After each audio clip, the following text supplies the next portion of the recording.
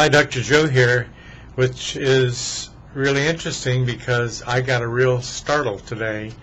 I found out my wonderful 24 pound Maine Coon cat has diabetes.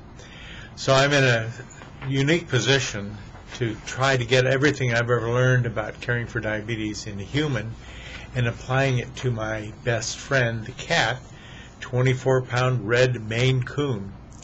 Uh, don't know much about this except that he's on insulin twice a day, and it turns out it's Lantus, and it's turned turned out to be two units in the morning, two units at night. Well, that's sort of familiar, but a lot is going on between that that I don't quite understand. Uh, do I prick his paw before each meal?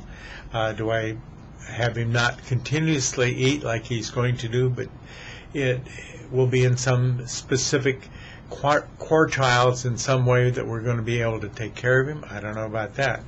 Is the CGMS available for cats? Um, where do you pump them? Uh, do you use insulin pumps at all? Do you do something that has continuous training? How about a hemoglobin A1C?